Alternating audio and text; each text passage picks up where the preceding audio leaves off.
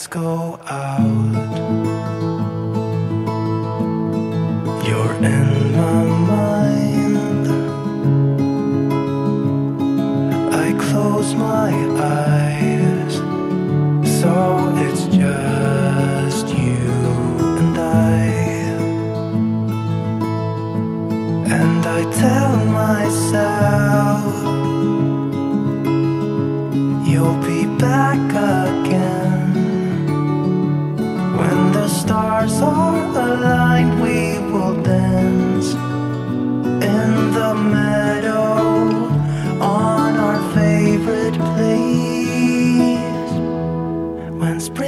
coming.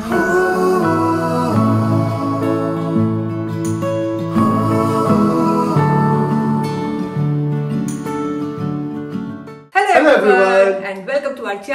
Desi couple on the go.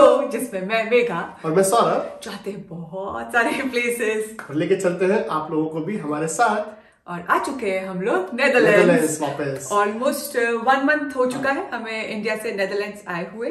और India में हम लोगों ने बहुत सारे वीडियोस को शूट किया था और लगाया था। आप लोग ने देखा कि नहीं? हम लोग गए थे महेश्वर और कान्हा नेशनल पार्क और वहाँ पर हमारी इंडियन सफारी बहुत ही अमेजिंग हुई थी। और आपने डीजे देखी कि नहीं? अगर आप सोच रहे डीजे कौन है तो डीजे बहुत ही फ़ेमस टाइग्रेस है कान्हा नेशनल पार्क की तो आप लोग हमारी प्लेलिस्ट ज़रूर देखिएगा। आपको बहुत अच्छा लगेगा। वैसे अभी इंडिया में सिचुएशन अच्छा नहीं है और सब जगह हम पढ़ भी रहे हैं कि it's very very tough situation in India very difficult तो हम लोग चाहते हैं कि जल्दी से फिंगर्स क्रॉस ये सिचुएशन अच्छी हो जाए।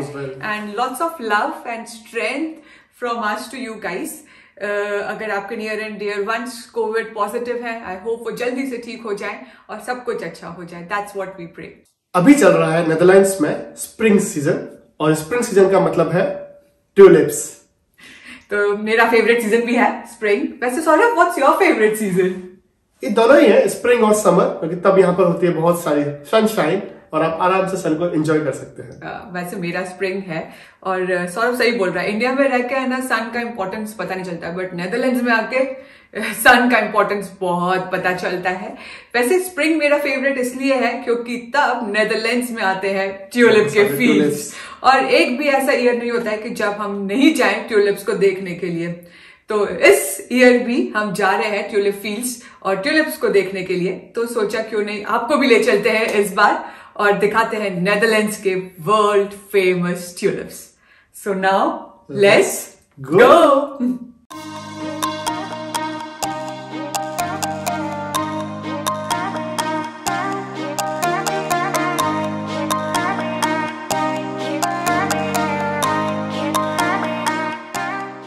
तो हम लोग आ चुके हैं ट्यूलिप के फील्ड्स में। और जब बोलते हैं ना नेदरलैंड्स के ट्यूलिप के फील्ड्स रियली फील्स होते हैं एक एक किलोमीटर तक आपको दिखेंगे फ्लावर्स और स्पेशली ट्यूलिप्स तो आप टाइम वेस्ट करें आपको दिखाते हैं नेदरलैंड्स के colourful tulip fields!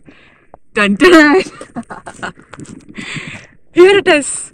See it and enjoy it.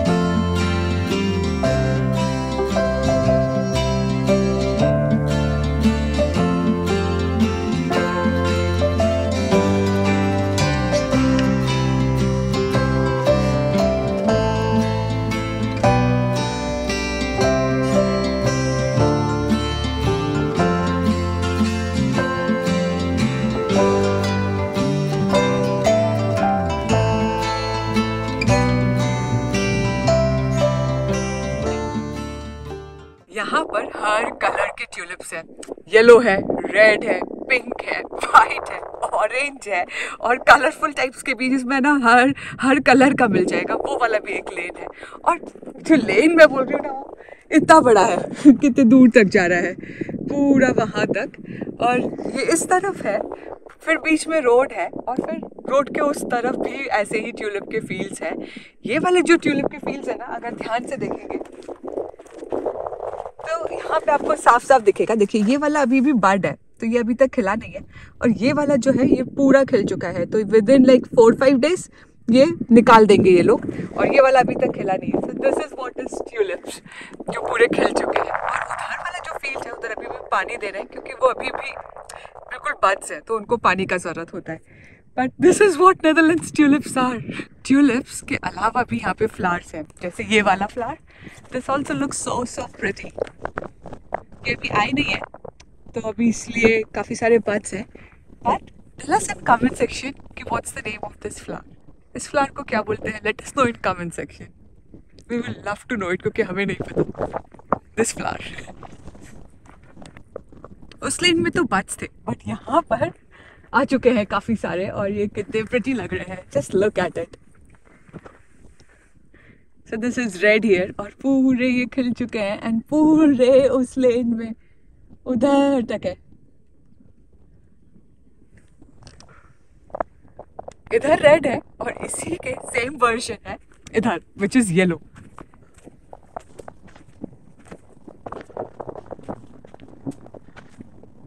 तो ये है येलो और सेम ही है उधर रेड है, इधर येलो है, और ये है ना रिमाइंड कर रहे हैं, मेरे क्राफ्ट जो करके पीरियड होता था, उसको वर्क एक्सपीरियंस बोलते थे। और क्राफ्ट का पीरियड होता था स्कूल के अंदर, और उसमें हम लोग टिश्यू पेपर से फ्लावर बनाते थे, उसे कट करके, और ऐसे रिबन में बाँध कर, और फिर ऐसे करके। एंड वो जो फ्लावर था, वो ये फ्लावर था, बिल्कुल एक्जैक्टली सेम वही लगता था। बट नाम मुझे पता नहीं है, पक्का बताइएगा इसका नाम क्या है। सो रेड देखे वाइट देखे येलो देखे. But this is different because इस लेन के अंदर you will see all the colours this is a multi colour plate of tulips tulip के फील्ड्स तो आपने देख लिए. अभी आपको दिखाती हूँ एक green house Netherlands actually world में सेकेंड नंबर पे वेजिटेबल्स प्रोड्यूस करता है. और उसका लैंड एरिया बहुत छोटा है. बट ऐसे ग्रीन हाउसेज हैं, जो कि अब मेरे पीछे हैं, ऐसे ग्रीन हाउसेज आपको हर जगह दिख जाएँगे और उसके अंदर बहुत सारे वेजिटेबल्स उगते हैं। यहाँ भी कुछ उग रहा है और जैसे आपको पता है, मुझे आइडिया नहीं है बट आपको दिखाते हैं। आपको पता चल रहा है कि ये किस चीज़ का प्लांट है जो पूरे इतने बड़े ग्रीन हाउस में लगा हुआ है। Let me know in the comment section कि ये किस चीज़ का प्लांट है।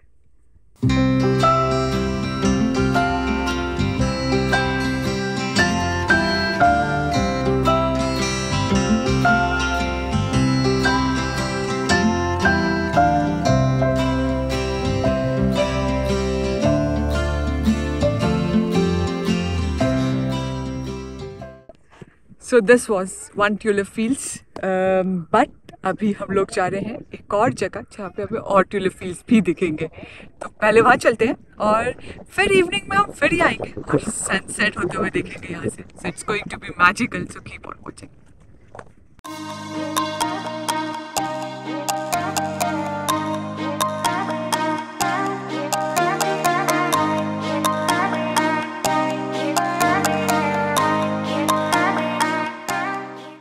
तो हम लोग जा रहे थे सेकंड फील्ड्स देखने जैसे आपको बताया था। बट वहाँ जाने के लिए ट्रैफ़िक बहुत, बहुत था। ट्रैफ़िक था। तो अगर ट्रैफ़िक है तो मतलब उस फील्ड्स पे भीड़ भी बहुत होगा। तो हम लोगों ने मारा यू टर्न और भूख बहुत लग रहा था इसलिए हम आए हैं।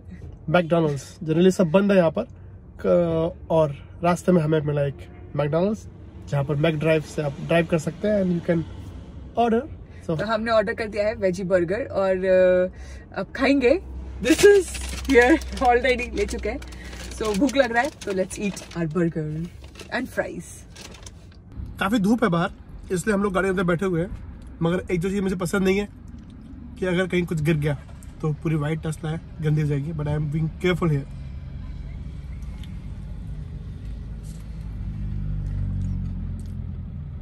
अच्छा है काफ़ी बर्गर सेकंड ट्यूलिप फील्ड्स तो हम लोग नहीं जा रहे, आपको पता ही है क्योंकि बहुत ट्रैफ़िक है। मैकडॉल में बर्गर भी खा लिया है। और हम आए हैं एक ऐसी जगह जो कि मेरा और सौरभ का फेवरेट स्पॉट है। यहाँ कैनाल है। और पीछे से आप देख सकते हैं बोट सारी है। और हम लोग सोच रहे हैं क्योंकि हमारे पास है चेयर्स तो इस पर लगाते हैं चेयर और बैठ के बोट पास हो रही है कैनाल से। इसको बैठ के इंजॉय करते हैं।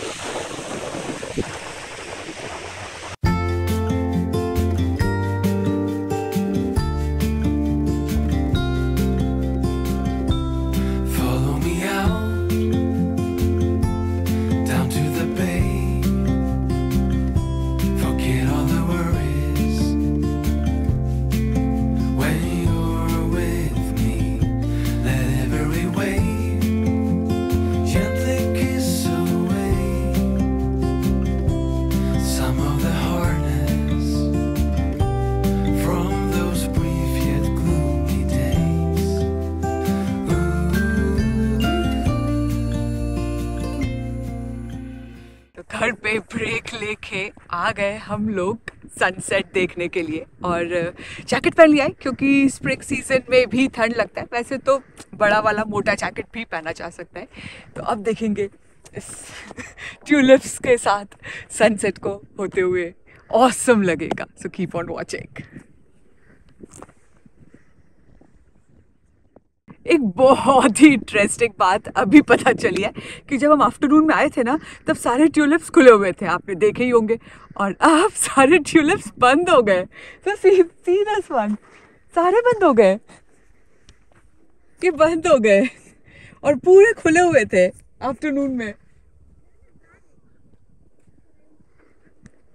Interesting right right? मुझे नहीं पता था ये वाला fact but it's interesting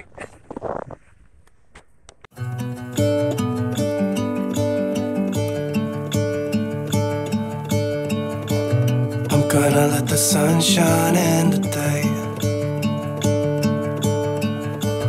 I'm trying to make this darkness go away. I'll paint with colors and I'll sing until my lungs give out. Mhm. I'm gonna let the sun shine in today. And I will leave my windows open so that I can hear the sound of